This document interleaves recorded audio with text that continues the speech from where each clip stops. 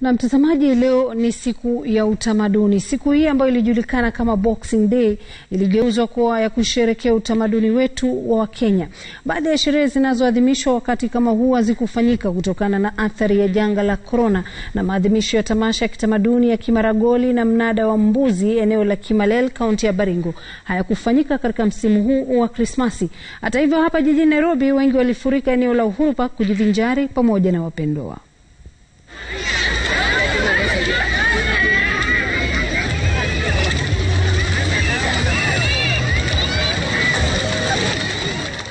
Nimefurahi sana, naona kila mtu ako na raha, so ni vizuri tukipata siku kama ya leo kufurahia vile tumefurahia leo. Nasikia leo, aisikia leo imekuwa sawa kushinda ya jana. Jana hadi mtu angejua kama ni Krisi.